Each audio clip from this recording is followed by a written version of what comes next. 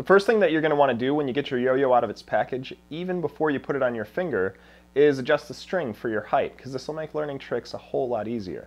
Now, if you've gotten a Peter Fish yo-yo, they come with a pre-shortened string. And so that may work out perfect for you until that string breaks and you need to replace it. But if it is too short, there's another string on the package that is of a conventional length. And so you can put that on and then use this video to learn how to adjust the string for your height. So what you want to do is just drop the yo-yo all the way down and you want to hold it so that it's just barely touching the ground. Then you want to find where the string meets with your belly button and just kind of pinch it right there. Get yourself a pair of scissors and cut the string right where you were pinching it. Just let that go. Now you're going to take the string that you just cut and fold it over.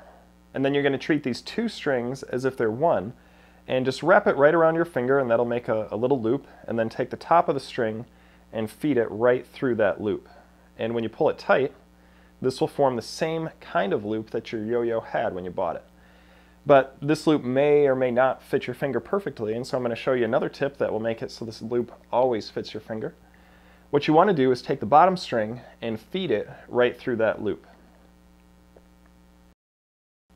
When you do this, it will make an adjustable loop that can fit your finger no matter how large or how small it is. So now that you've got the string adjusted, you want to put it on your middle finger. I like to put it between my first and my second knuckle. That seems to give me the most control. And you want to tighten it down, and now you're ready to learn how to wind the yo-yo.